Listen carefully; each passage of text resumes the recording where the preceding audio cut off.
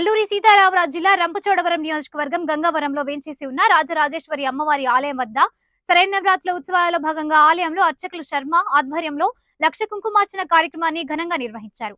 సరైన నవరాత్రుల ప్రారంభం నుండి ఆలయంలో అమ్మవారికి పూజారి కార్యక్రమాలు భక్తి శ్రద్ధలతో ప్రవచనాలను దసరా ఉత్సవాల విశిష్టతను అర్చకులు భక్తులకు వివరించారు.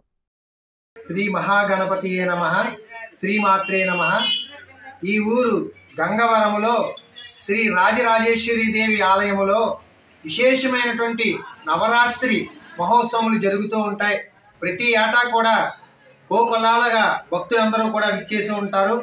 ఇక్కడ అమ్మవారు ఎంతో ప్రసిద్ధిగాంచి శ్రీ స్వర్ణ కవచ దుర్గాదేవిగా మొదటి రోజు మరి అక్కడి నుంచి మొదలుకొని బాలా త్రిపుర సుందరీ దేవిగా లలితా త్రిపుర సుందరీ దేవిగా మరి అన్నపూర్ణమ్మగా లక్ష్మీదేవిగా తర్వాత మరి ఎంతో విశేషమైనటువంటి భక్తులు అందరూ కూడా కోరిక మీద ఇవాళ అన్నపూర్ణమ్మగా పూజలు అందుకొని మరి సరస్వతీదేవిగా పిల్లల పూజలు ఆ తర్వాత దుర్గాదేవి శ్రీ రాజరాజేశ్వరి మహిషాసుర మర్దిని దశమి వరకు కూడా మొదలుకొని విశేషమైనటువంటి పూజలు మరి అలాగే ఎంతో అమృతమైనటువంటి ప్రసాదాలతో ఇక్కడ నివేదన జరుగుతూ ద్విసంధ్యలోనూ కూడా అమ్మవారు మనందరినీ కూడా కటాక్షిస్తూ ఉంటారు.